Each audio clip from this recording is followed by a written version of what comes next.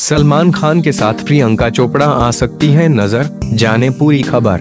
बॉलीवुड के सुल्तान सलमान खान इन दिनों अपनी नई फ़िल्म भारत की शूटिंग में बिज़ी है। फ़िल्म में उनके साथ कैटरीना कैफ, दिशा पाटनी और सुनील ग्रोवर भी अहम भूमिका में नज़र आएँगे। यह फ़िल्म इस साल ईद के मौके पर रिलीज़ होगी। आपको बता दें कि भारत फ़िल्म में पहले अभिनेत्री का रोल प्रियंका चोपड़ा को मिला था, लेकिन किसी वजह से उन्होंने यह फ़िल्म छोड़ दी थी। इसके बाद सलमान और इनके रिश्ते में कड़वाहट आ गई थी। अब खबर मिली है कि हाल ही में Priyanka coffee with Karan show के फिनाले एपिसोड में पहुँची थी। यहाँ पर वो करीना कपूर के साथ नज़र आई।